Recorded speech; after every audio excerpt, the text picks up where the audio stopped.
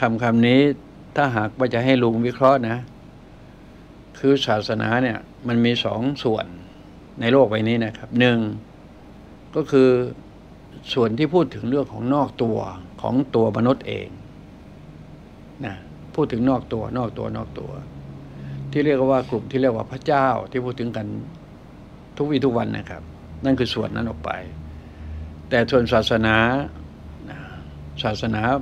ถ้าเป็นลงคำว่าพุทธนะ ก็อยู่กับตัวเราเอง สอนเรื่องตัวมนุษย์นะครับ ทีนี้ถ้าหากว่าเราไม่อยากจะมันหมดศรัทธากับศาสนา สมมติว่าหมดศรัทธากับศาสนาพุทธนะมันเพราะอะไร เพราะว่าคนในศาสนาไม่ปฏิบัติจนกระทั่งถึงถึงขั้นได้มรรคได้ผลได้นิพพานประมาณนั้นนะครับ คือไม่ถึงขั้นนั้น มันไปเรื่องอื่นซะนี่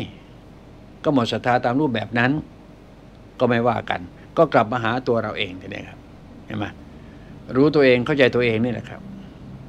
ใช่ไหมครับ ที่ลุงพูดเมื่อกี้นี่ธาตุสี่ขันห้ากับสติปัฏฐานสี่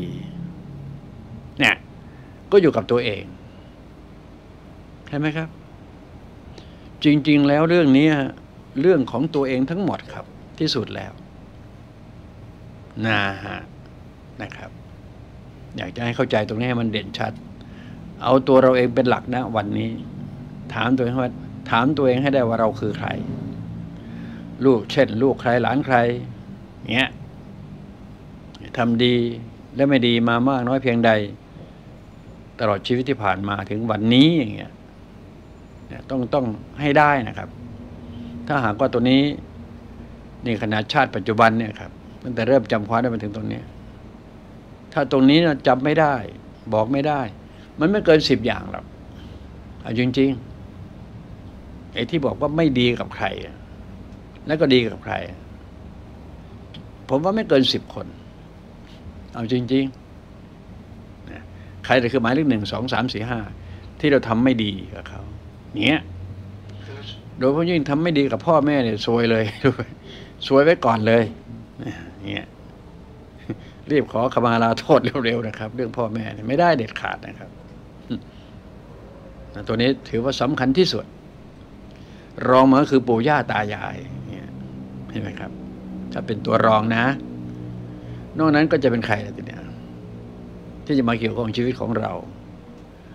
มันก็มีเมียมีลูกเอาเอาสิคนที่มีเมียมีลูก มีสามีมีลูกก็มีอยู่แค่เนี้ยใช่ไหมการงานการคือการค้าการขายเนี่ย ไปโกหกหลอกลวงใครไหมอย่างเงี้ยเราเคยไปโกหกหลอกลวงไหมเอาทรัพย์ของเข้ามาโดยที่เขาไม่พึงพอใจอย่างเงี้ยใช่ไหมขณะเดียวกันเราเคยที่จะช่วยใครไหมเนี่ย เราเอาของเข้ามาในกอ แต่ก็ช่วยในขอ อย่างนี้มันก็ได้นะ หนักเป็นเบา อย่างนี้เป็นต้น เนี่ย มันก็มีอยู่แค่นี้ผมว่านะชีวิตจริง ผมว่าไม่เกินสิบคนสิบห้าคน ในชีวิตจริง ๆ เนี่ยนั่นก็เป็นการประกอบอาชีพไปตามปกติ เพราะฉะนั้น การที่เราไปบอกว่า หมดศรัทธาในศาสนานั้นนะครับ ก็